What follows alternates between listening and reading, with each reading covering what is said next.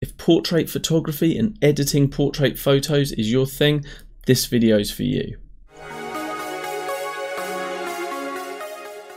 Hi guys, Anthony Turnham here and welcome to another photo editing tutorial. If you're new to this channel, I'm a professional photographer with over 25 years of photo editing experience and that's what I'm trying to share with you guys here on this channel. So if that's something that interests you, why don't you consider subscribing. In this video, we're looking at the insanely powerful AI-driven portrait editing tools inside of Luminar AI. We're going to focus on just one photograph and I'm going to work through every single tool inside of the portrait section of Luminar. And make sure you stay tuned to the end, guys, because I've actually got a special guest stopping by. So without any more waffle, let's get into it. So here we are in this portrait section and the photo we're going to work on is this one here. So the easiest way to edit a portrait would be just to jump into the templates, see what Luminar AI is suggesting for you. So in this one, we've got experimental, monochrome and blockbuster, but we could also come into the close-ups, which is portrait based. And we could, for instance, click on brush up and that's given a nice softening of the skin. If we look at our before and after, it's also done a little bit of work on with the body AI. Uh, if we go to featured face, straight away we can see we've got a bit more of a contrasty kind of look here. So before and after, and I quite like that one. We've got focus, and also midday as well. And if we look at our before and after of that, I feel like each of these four templates does quite a nice job of doing an edit without being too excessive with what it's doing, which is really nice. But if we right click, come to adjustments and revert to original, if you're anything like me and like to take control of your edit, the best thing to do is to jump into the edit section and actually get hold of those tools yourself. So what I'd like to do with this particular photo is just do a basic edit to get the overall photo looking good and then dive into the portrait section itself. So good place to start with most photos is in the Enhance AI and just pushing the Accent AI slider up and just see what it does. And while for most photographs it does a really, really good job, particularly landscapes, things like that, whereas with the portrait section itself, we're actually enhancing the background. And to be honest, I'm not too worried about that. So I'm not going to take my normal approach and do that. I'm going to jump into the light section and just play around with the basic sliders to see what we can do. I feel like our color temperature is pretty good where it is, so I'm not going to play with that too much. The exposure is also pretty good, but I may want to increase the contrast just slightly. It's worth having a little play with the highlights and the shadows and just see what they're doing. And it's also worth coming into the black points and just making sure that we're happy that we've got a nice rich black and also a nice white point in our photo too. So now if we look at our before and our after, we can see that we've got a nice amount of contrast in this photo. You can see how I actually framed the model against the dark wood here, so she wasn't competing for your attention against the metal in the background here, but I still feel like this is a little bit distracting. So if we get a vignette and we actually crank that pretty heavily towards 100, and we're going to feather that nicely, so it's a nice soft transition, and possibly even bringing in just a little bit, and choose our subject to be more around the model's face. And now we can ease the amount back just so it's not as aggressive and it's a little more subtle. And if we turn that off and on, we notice now that our eye goes much more towards our model. And that's what you want in a portrait. Now we've got tools available to us in the creative tab that I think would be really beneficial for this photo. But what we're going to do is first of all jump into the important portrait section and I'm going to walk you through each of these sections, face, skin, body and high key. We're going to look at each tool within that section and I'm going to explain what it's doing, why you might want to use it or why you may want to actually avoid it. Once we've looked at how we can improve our portrait with the AI section, I'm going to show you some tools and techniques that you can use that are a little bit more advanced but give you a little bit more refined control and that'll be coming up towards the end of the video. So let's get going with Face AI. The first thing that you can do if you want to is actually brighten the face of your model. So if I push that to 100, we can see exactly what's going on. And I'll normally do that with most of my tools I'm working with is just push them all the way up, even though it's way over the top. I want to do that so that you can see exactly what effect that is having. And while we're working on the face of our model, what I'm also going to do is zoom in so that we can actually see these changes that we're making. A 50% zoom is quite nice in this instance. So Facelight is a really good tool just to help bring your viewer's attention to the face of the model. Our eye naturally gets drawn towards brighter parts of an image, so if we can brighten up our model's face, that can be a really beneficial thing for a portrait. Usually I don't like to push this face light too far, but even just introducing a small amount of it, somewhere around that sort of 20 mark, can actually really help your image along. You've got the option to slim the face down if you want to, so let me show you what that can do. And as I push that to 100, you can see a shift in the geometry of her face and pulling that in.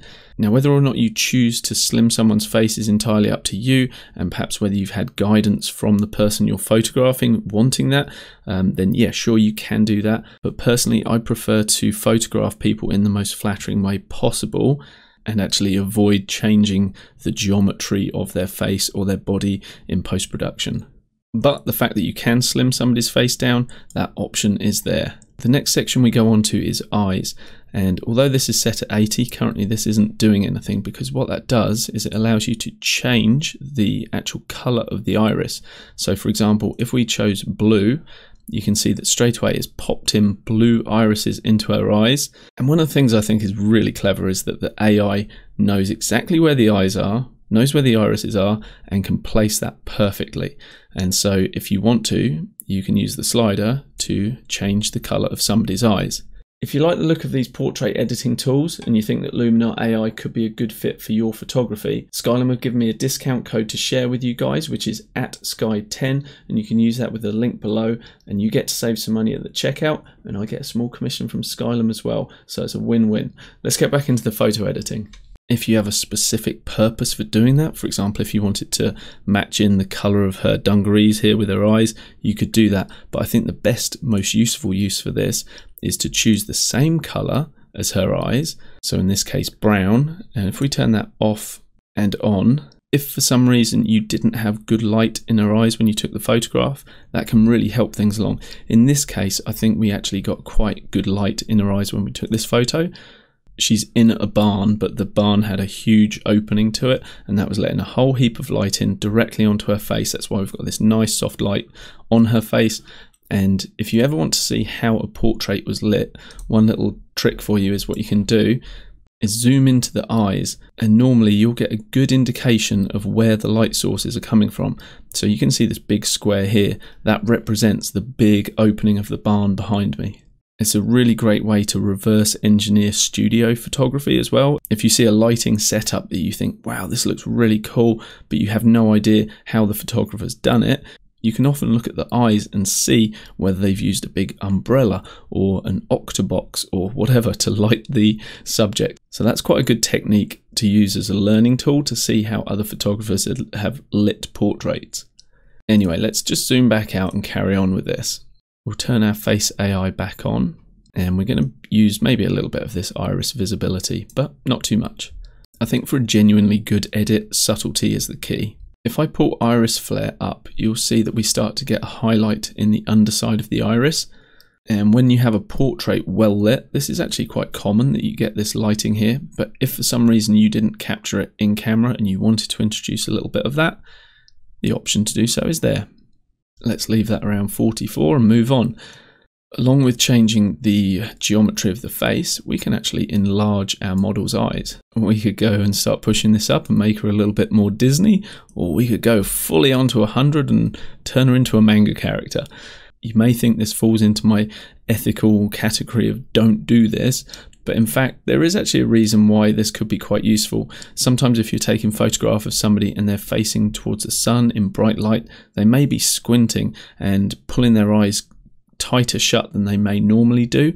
And so actually by using this slider, you may actually be making their eyes more similar to how they would normally appear. So again, we could enlarge her eyes and just do it ever so, ever so slightly. If you want to whiten the eyes of your model, you can do that. Again, that's one of those sliders. Don't push it all the way to 100. It's going to look really fake, uh, unbelievable. Don't do that. But a little bit of it might help. Now the eye enhancer, when we push this up, you'll see I actually really, really like this. I find this is a more believable edit on the iris. Even at 100%, it doesn't look terrible. You can see exactly what it's doing there and it does actually enhance the eyes. So I'm going to leave a fair bit of that in. Let's go around that sort of like 50, 60 kind of mark. Red eye removal is only useful if you are taking flash photography inside and the light bounces in through the eye and lights up the back of somebody's eyes and then you get that and then you get the red effect of all their blood vessels showing up through their pupils, which is pretty ghastly. But nowadays, the low light capability of so many cameras is so good that if you don't have to use flash photography, try and avoid it as much as you can. Sammy doesn't really have any dark circles. She must be very well rested, but if she did, we can actually bring this up and that'll brighten that area under the eyes. So let's leave a little bit of that in there. Now this slider called Improve Eyebrows, I think that's very much a matter of opinion whether you think that's improved or not. Um, I would personally call that darken eyebrows. I feel that it often is far too much, particularly at 100, and I, I don't know whether I want to make her eyebrows darker, but just for the sake of demonstration, let's push that around 38. And now as we move on, we've got a section all about the lips. So let's saturate the lips, and now let's make them redder. And if we want to darken the lips, we can use this slider. And if we want to whiten her already insanely white teeth, we can do that as well. Now to do any of these things with traditional photo editing would take a while because you've got to create masks. You've got to create layers that are going to affect the colors. You're going to have to create a layer to brighten the teeth and then mask that back in exactly where the teeth are. So the fact that the AI can recognize exactly where her mouth is and make these changes is a real time saver if this is something you're wanting to do. Personally, because she hadn't got any lipstick on anyway, and we're going for quite a natural look in this photo, I'm not too worried about adding these kind of effects. Perhaps darkening the lips is, is quite good just because it gives a bit more contrast between her skin and her lips. But in terms of the teeth whitening, her teeth are already very, very white, so I'll leave that alone but that is an overview of Face AI and how you can use that. So let's turn that off and turn it on. And one more time just so you can see this is off and this is on. So the first section deals to the overall face, the next section is eyes, and the next section is mouth.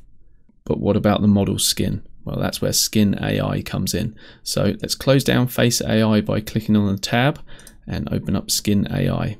And Skin AI, when I push that to 100, what that's attempting to do is actually soften out and smooth the skin without destroying all the pores and the texture of the skin. So it's not just like blurring the pixels, it's trying to retain some sort of detail in the pores. If you've got a shine going on, you can use that slider to reduce that but our lighting was pretty soft, so she's not really shining as such. And you've also got this skin defect removal box, which you can check, and then Luminar does its best to remove skin defects. In my experience, this tool isn't always the best.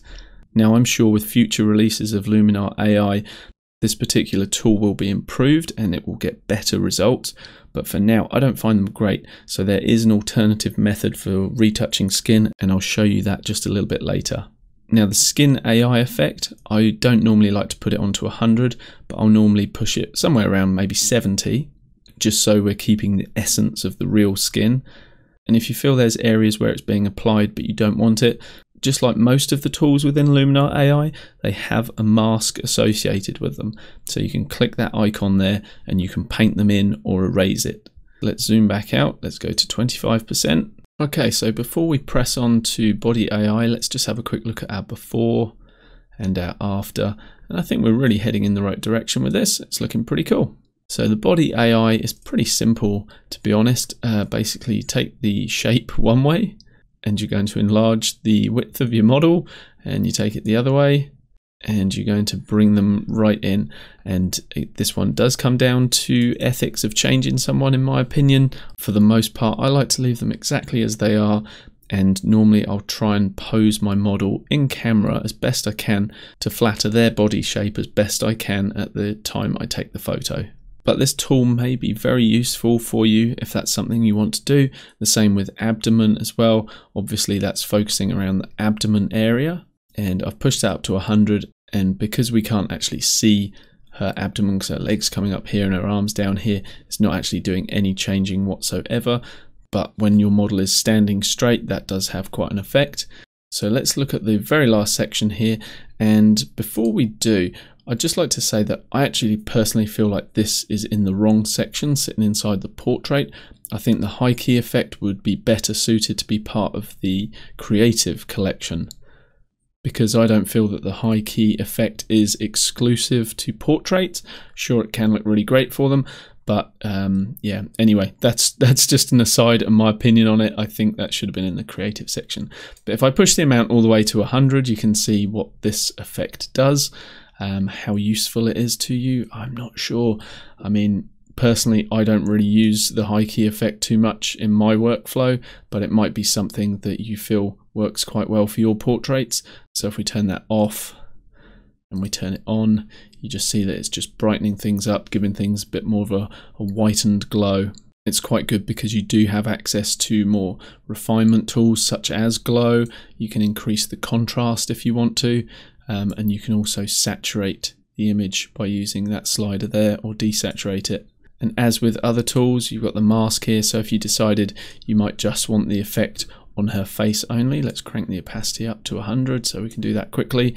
And now if I turn it off and on, you can see that we've just brightened her face there. Or maybe you want to brighten her arm up, um, maybe her leg as well. So we could do that. So off and on because the vignette had darkened the edges, her arm and leg were getting quite dark. So do you know what?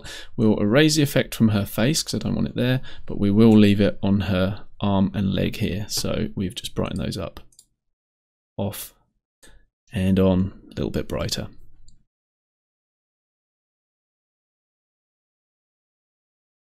So I mentioned earlier that there are a couple of tools that you can use to enhance your portraits that actually live outside of this portrait section.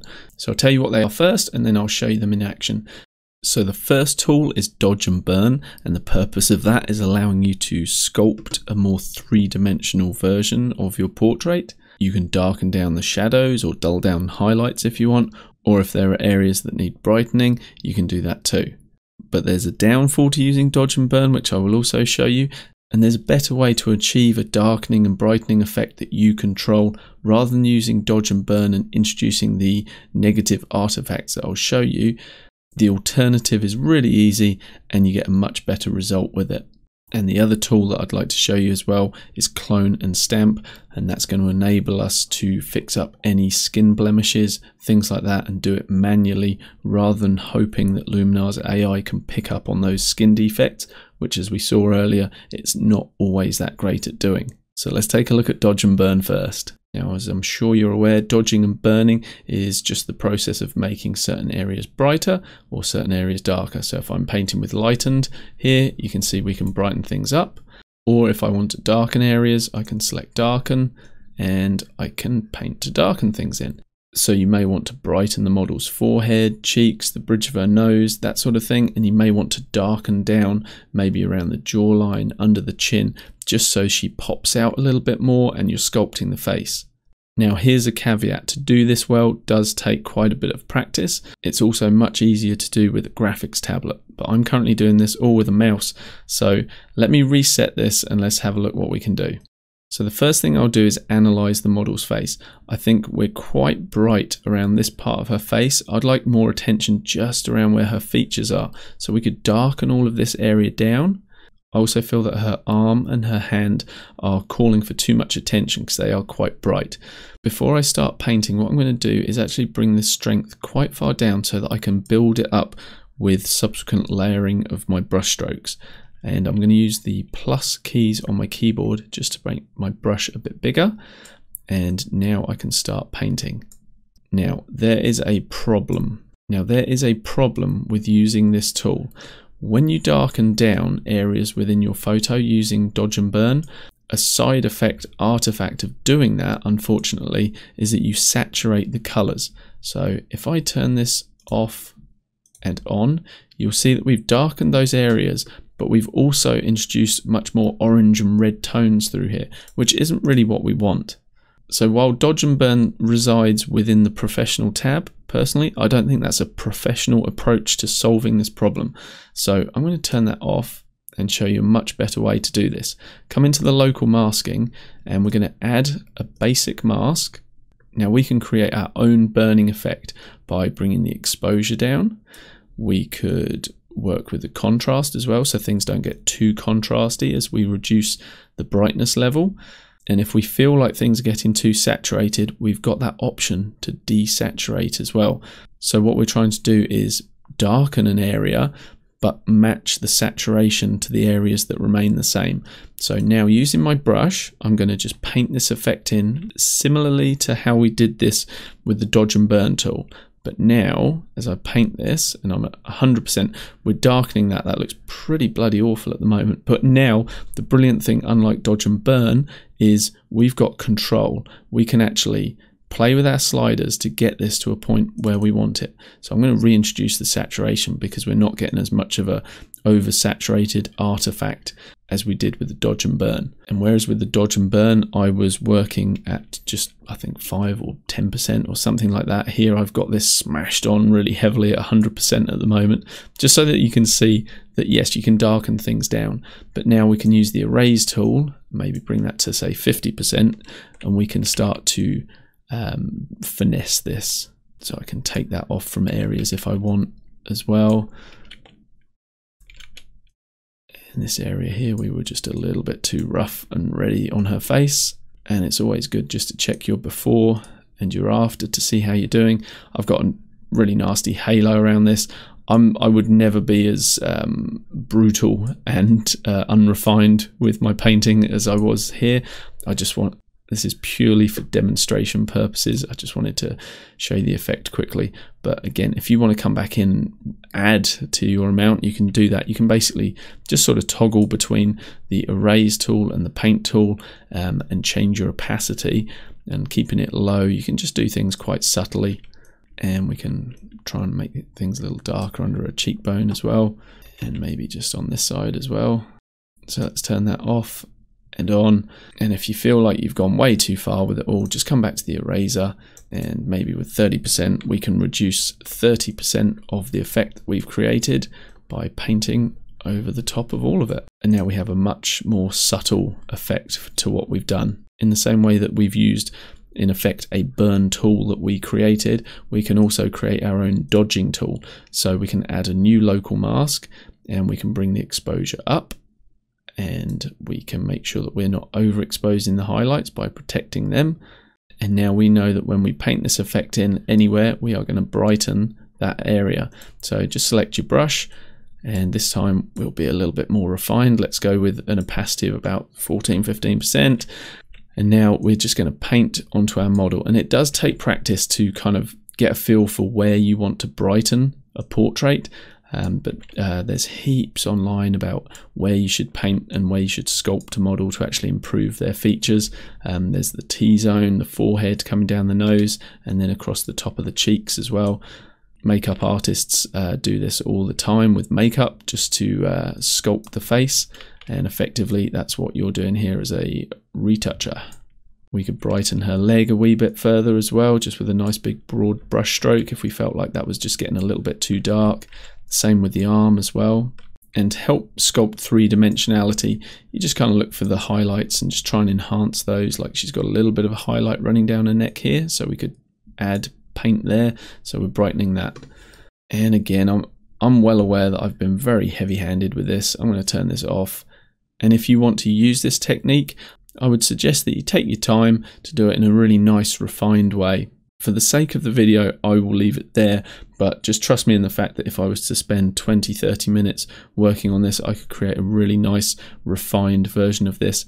And with practice, you would be able to as well. Now within this portrait section and the skin AI, we saw how by clicking this box, we were trying to do skin defects removal. And I didn't feel it did a great job. So how do we solve this problem?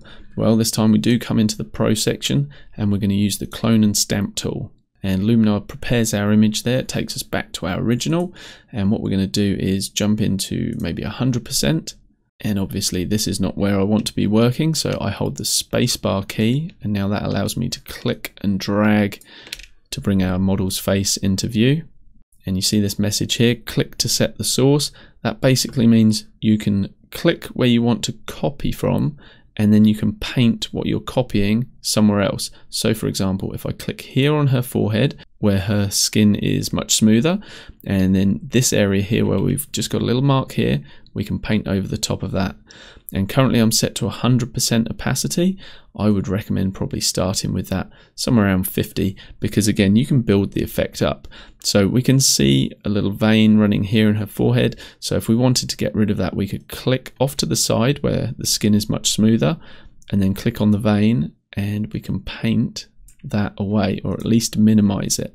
And then if we want to go again, we can just hold Alt or Option and click and then paint again. And you can keep doing that just to build up that effect and remove areas that you don't want to be there in the portrait. So now I'm just going to click around in different areas of the photo and sample and paint over any skin defects. Now, when I do anything like this, if somebody has something that is unique to them, let's say a scar or something, I will leave that in unless I'm specifically asked to remove it. So, in general, my rule is if something is not going to be there in a week's time or a couple of weeks, then it's okay to remove it. It's fair game like a spot. Whereas if something is a permanent mark on somebody's face, um, a birthmark or a mole or something, I will leave that exactly where it is. So we've got a little mole here. I'm going to leave that alone. You can use this technique if you wanted to clean up, say for example, this eyebrow hair here. If you thought that looked a little out of place, you can press the bracket keys on your keyboard to make your brush smaller and just paint over it, sampling from a different area. And always try and sample from the same color and tonality of the skin so that things look a little more natural and believable. So of course this is not as quick as ticking a checkbox, but this is a much, much better way in terms of giving you ultimate control over retouching your portrait. And then if you're happy with what you've done, you just close the clone and stamp tool down and that will apply the effects onto your base layer and then it will reapply all of the effects as it's done now that we did with the other tools. And now we can look at our before and after and you can see that we've had all those AI tools that we did and then the, the skin retouching that we just did as well, that little bit of dodge and burn that we did. Now deliberately for my tutorials I always work pretty heavy handed so that you get more of an idea of what the tools do. More often than not I use them in a higher strength than I normally would but if I get to the end of the edit and I feel like, well, everything's really compounded and we've taken things too far, that's when you come to your template slider here and we can ease that back. So we can take things all the way back to the beginning, go to 100, and then we can just wiggle that back and forth and kind of get a feel for, okay, what's, what's a good amount? And maybe somewhere just around that 50% or just above might be a much better place. From this to this, we've got a nice edit and it's more subtle. Let's zoom back out now. And now let's do our before and our after. Before and after. And now in a portrait workflow, this is the time when I'd say if you want to get more creative in terms of perhaps adding a mood to your image and coming in and choosing a LUT that you might want to go for, let's go with Los Angeles for example, add that at the end of your workflow because if you add that look at the beginning, at the initial part, sure, you can do that. But as I'm sure you know, the more effects you apply to your image, the more you're asking of your processor, and the more likely it is that Luminar AI will start to slow down. So, what I recommend you do is do the heavy lifting of doing the portrait AI tools get the portrait looking how you want it, and then come into the creative stuff. So, the mood, which is a more harmonizing look for the overall image, or you may want to add some of the mystical filter. We could just add in a little bit of that, let's say somewhere around 20. Turn that off and on. But as I say, save that until the end. So now let's look at our final before and after. And I think that's been a nice portrait edit Let's jump into the history section down in the bottom right by clicking this icon and let's do a quick overview of the workflow we've gone through. And as you see the history list scrolling by here, you'll see that we've done quite a few steps and it's pretty cool that Luminar has recorded all of those. So if we jump back to our original image, let's build it from here. You can see first of all we looked at things like the midday template, how you can fix things just with one click using a template. And in terms of a one click fix, I think that is a really powerful tool just to be able to click that and have that done. As I move up, we talked about AI Enhance. We then went back to our original and started building things from there. We looked at the accent AI and just put a little bit of that on. Then we added smart contrast. We looked at the highlights, blacks and whites and enhanced the look a little further with those. Because I felt like our attention may get distracted by this bright contrasty metal over here, we worked with the vignette and I created a vignette effect which just darkened down all of that around there and brought our attention more to our model. So at this point we've got a pretty nice looking photograph, but we haven't even looked at the portrait AI tools yet. As I scroll through these options, you'll be able to see that we had face light, um, we worked with the eyes, we worked with the lips, the teeth, and also the skin. So by the time we'd finished that, we got all the way to this using Luminar's AI tools. We looked at the body AI, but I'm not a big fan of that. But then we moved on and also looked at how we could apply the high key effect and you can see it just brightened up the legs and arms because that's where we painted it in with a mask. We then looked at dodge and burn and how you can use that to sculpt things, but at the same time, I brought attention to how it can oversaturate certain areas of your image and why I think a better approach is actually to use the basic adjustment masks. And so that's what we did. I'll click that and that will show us, first of all, I created a darkening effect and then I worked on a brightening effect. This is where you can really spend some time and finesse your portrait if you want to, but I appreciate for a lot of you that may be overkill. But one useful thing to know is if the checkbox for remove skin defects isn't doing a particularly good job, and which I find is often actually the case, unfortunately, you can come in and use the clone and stamp tool. And as you saw there, we were able to clean up any so called defects ourselves and do that manually.